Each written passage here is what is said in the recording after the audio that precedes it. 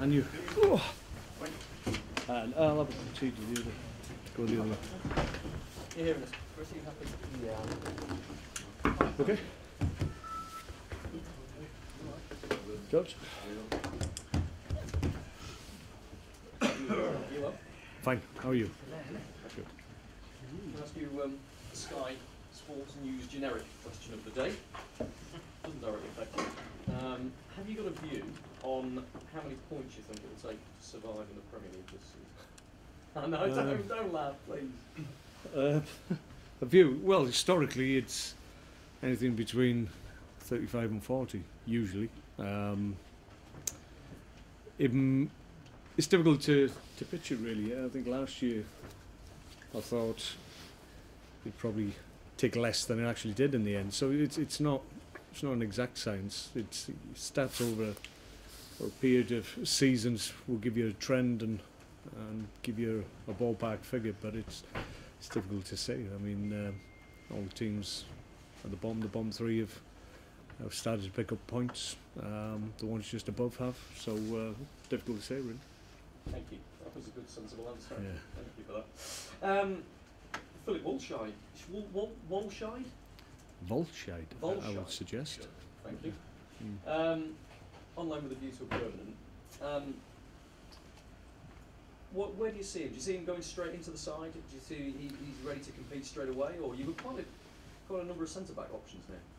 Yeah, well, we pursued it because there was uh, an opportunity to, to, to do it. Obviously, some sometimes um, when you get wind of deals you feel a good opportunity, then sometimes you, you have to take them. Maybe timing um, isn't what we, we, we anticipated, uh, but sometimes there's deals that if, if you don't do them now, uh, you lose the opportunity, and that was the case.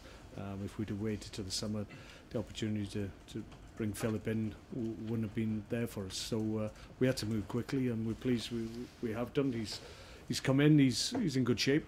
Um, when he had a couple of weeks off, in that time he obviously was aware of our interests, so he's, he's kept himself up to speed.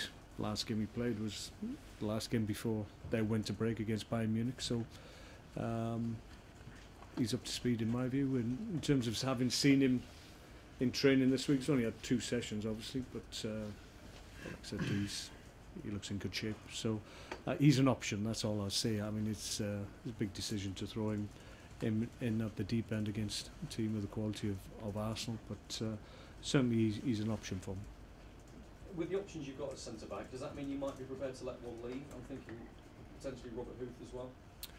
Uh, well, we, we, we might look at a number of things, but um, we have to be careful we don't allow ourselves to be um, a little bit thin on the on the on the ground in terms of, of bodies. Uh, at the moment, we're not too bad, but over Christmas we, we were really stretched, and, uh, and I don't want to be in a situation where that we're we're losing players, key players, in similar positions, and that, and that obviously you can't cover for every eventuality. If you have two three injuries in the, in the same position in the team, then uh, you probably haven't got the depth to, to cover that. Um, at the moment, Marc Muniesa has hasn't trained. Well, he's trained uh, today for the first time this week, uh, so he's had problems with his groins. Um, uh, Mark Wilson um, has a issue with his knee that we're managing okay, but um, we've got to be mindful of that. So we have to be careful if we if we feel it makes sense for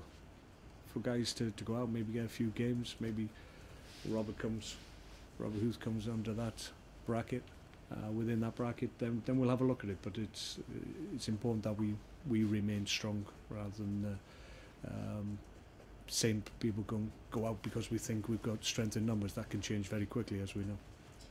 Um, there was a few raised eyebrows when your assistant said that you're in for Shaqiri Mm. in the week. Um, and, and I don't mean any disrespect by that, but you, you, there were some huge clubs that have been chasing. him. He's now gone to Inter Milan on loan. Does that give an idea of the ambition of you and this football club of, of what you're looking for in the transfer market? Is that the sort of standard you're talking about?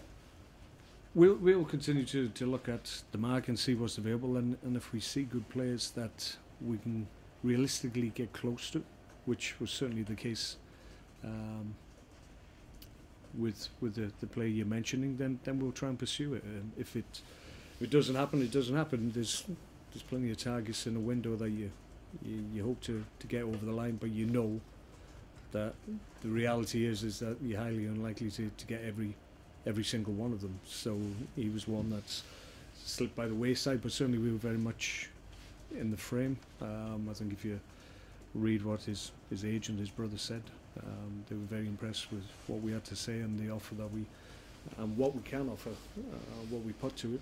So um, it wasn't dismissed. I think maybe that's what we take from it is that we can we can get in, in the room with these people now with top quality players and, and they'll listen to what we say. Maybe that hasn't been the case in the past. Obviously, Mamadou's gone off to the Cup of Nations. Does that mean you'd like to get a striker in quickly to help with the cover for that, or were you looking for a striker anyway? Um, it's, it's one of those. We, we, we'll look at what's out there, and um, yeah, we've.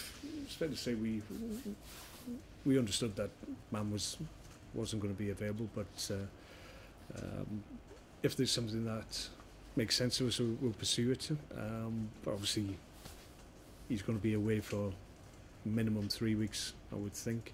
Uh, they may get knocked out, and we get them back sooner. So it's to go into the market and get somebody just for cover for three three weeks. Maybe it's uh, maybe not something we'd look at. But but if there's something that came on the radar that obviously long term we, we felt was was something that could enhance the group, then then we'll do it. Cracking form you're in.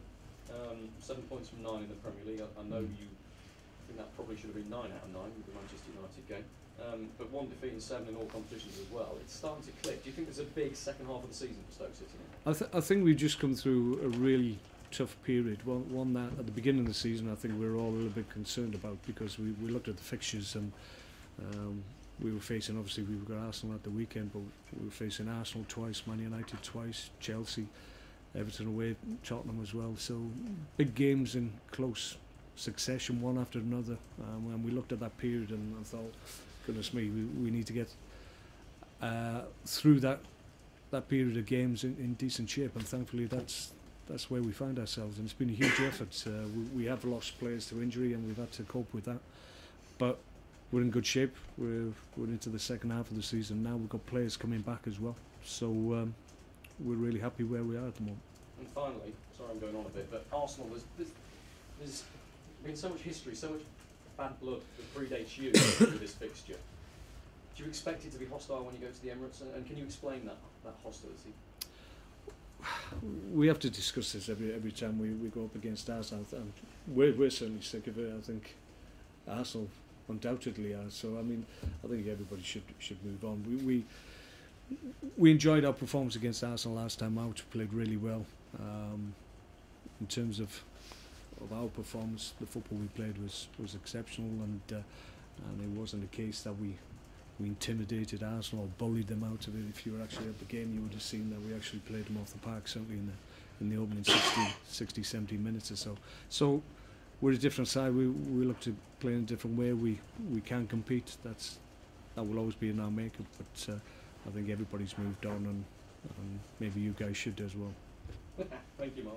Are there any possible advantages to facing Arsenal so soon? I mean, that was a very good morale-boosting win. Do you think that would will have any bearing at all on what happens down the Emirates? Well, well, we hope it will. But uh, if you look at our record at the Emirates, it isn't great in recent times, and I include my, my own personal record uh, with teams that I've gone there even before Stoke. So, uh, for whatever reason, our record here at the Britannia is, is excellent, but the Emirates, it's chalk and cheese. So, it's an opportunity. Obviously, it's as you say, it's close succession. Uh, we- we're playing them very quickly after a really positive performance and results. So, hopefully, psych- psychologically that might might help us more than it possibly does Arsenal. So we, we hope that's a benefit. But we need we need to improve our our record. Certainly at the Emirates, we need to uh, um, force them to, to have to work a little bit harder than they have done in the past, and um, maybe with the benefit of having a really good performance against them in recent weeks, then that will help us. Let's hope so. Um, one of the um, advantages, I guess, of, of, of playing Arsenal is the fact that they, they're going to be quite familiar, aren't they, in, in terms of the way they play, or will they play in a different style? Uh, uh, No, no. I, I think? I think Arsenal is very consistent in terms of the way he sets his teams up. He'll, he'll change personnel and Um, and on occasions uh, away from home, he, he's he's gone with two sitting midfielders. At, at home, invariably, he goes with just the one, and he has more attacking players in home games. So apart from that, the actual fundamentals of what he tries to do remain constant. But he's got great talent to, to come in, and by all accounts, his, his injury list is is easing somewhat. So uh, he's getting a few players back as well. So so they'll be very strong, and it, it'll be a difficult game for us. We've spoken about the tremendous period over Christmas, 11 points, I think. Is one of the reasons the the integration of some of your, your newer overseas players? I'm, I'm thinking of your Bojans, Bunyeses, the other players that have come in now and have really gelled into what you've had here already. Yeah, I've I've been here. It's it's getting on for for 18 months now, and and uh, I wouldn't have done my job if I had some impact in terms of their understanding of what I want from them. So yeah, we've certainly seen seen the benefit of the work that that's been put in. Um, I think a lot of the guys have uh, really stepped up when we, we came under pressure with, with injuries, and I think that's uh, really shown the, the character of the group and the, and the type of players that I have now. And uh, we've got a little bit more creativity. I think that's acknowledged by most people now, uh, and that's helped us certainly away from home. I think um, having looked at our home record and, and our away record uh, out, out of the league, I think there was something like the fourth position out of 20 teams uh, with our away way form. So so that's a positive because last year that was something that uh, we weren't we weren't pleased with, and we've markedly improved our away form. So um, once we get the home form aligned to it, then we'll be fine. What's the highest you can go, do you think, or is that putting too much pressure on Uh, difficult to say. I, I mean, we had a great finish to the season last year, got to ninth, and if we can manage that again, then we'll, we'll be delighted. A lot of teams obviously uh, have had good starts and they need to maintain it. We, we always feel we'll we'll keep on progressing and picking up points uh, right through the season. Some teams uh, burn brightly at the beginning and then fade. Um, my teams historically don't do that, so uh, we fully anticipate we'll have a good second half to the season as, as good or if not better than the first half. So if that's the case, we'll have a good season. Good, thank you. Mark, you fielded a very strong side against Wrexham. Uh, what did you learn from that experience, uh, from that selection? Uh, Wrexham a good team. Yeah. what about Robert Huth and Stephen Ireland? Well, it's important to give them game time. That's what they've been been lacking, and uh, uh, I was pleased that uh, obviously Robert had the first 90 minutes for, for quite some time. Um, so that was a, a positive. Stephen, who's been really unlucky, I think I mentioned last time out, he's arguably at the beginning of the season he was our best performer in pre-season. Went out of the team through injury and, and found it difficult to get back in. When he did get back in, he got injured again. So for him to come back in um, and just have a, a little cameo at the end of the game, but in fairness, took the game away from Wrexham. So, real, real positive in terms of both of the, the guys. So uh, we're pleased. Uh, he's another one that's coming back. Stephen Sidwell as well. Uh, got the 60 minutes that I wanted to put into him. So um, it's important now that we start getting players back. We've got Victor Moses obviously back in the group as well. So we're we're looking a little bit stronger than, than we were certainly going into the Christmas period. How soon will Victor Moses be ready? Uh, he looks okay. He looks he looks sharp. Whether or not he's ready to start, that's that's something I need to mull over. Uh, I need to see him tomorrow again, see how he shapes up. But um, but he's come back really well, and credit to Chelsea in terms of the, the rehab they've given him. Uh, he's bang on track. So uh, uh, we'll be careful. Obviously, we're mindful that prior to his injury, arguably he was our best performer. Thankfully, when we did lose him, Bojan came in and, and took up the mantle and and really performed as well. So we, the loss of Victor in terms of our creativity was was lessened to a certain degree. So um, uh, we're mindful of both of them that they they are coming back from injuries. Bojan as well is still one we've got to be careful of because he he's still coming back. Um, we'll have to see if he's ready for the weekend, but. Uh, um, for the most part, we, we're really really pleased with where we are in terms of the, the healthy healthy state of the group at the moment. You mentioned he's going to he, he might not be ready for Sunday's anybody else? Uh, he's trained today. He's um, he needs to come through. As long as he hasn't got a reaction, then then he's an option for me. But he uh, he, um, he had an issue with his his groin, so uh, had a slight tear in it. So uh, it settled down. Um, like I said, he trained okay today. Uh, we just have to make sure that he doesn't get a reaction. Any least be on the bench. Uh, yeah, there's a possibility. Uh, they- they're in the squad, um, but I'll make a decision on the day in terms of who's actually involved. Uh, Mark, you mentioned Stephen Ireland there. Is the key to managing him trying to get such performances out of him on a regular basis? Um, yeah, I mean, Stephen is a good player, and everybody knows my thoughts about Stephen and his ability. He's, he's been unlucky, as I've said. He hasn't been too well, in fairness, this week, so he might miss out at the weekend, just because through illness he's, he's been trying to train and play through it, but it, it's probably doing more harm than good. He, he may well miss out, but uh, everybody else is likely to be okay. You mentioned he was in and out of the team with injury, but is, does he still feature in your plans for the future? Oh yeah, absolutely. Yeah, he's he's very much part of our squad. He's, he's quality play. You can you saw against Wrexham the impact that he can have and the quality that he has. I, I thought he came on and gave us that creativity that on the day that we lacked, and, and that's why he's here to give us that creativity.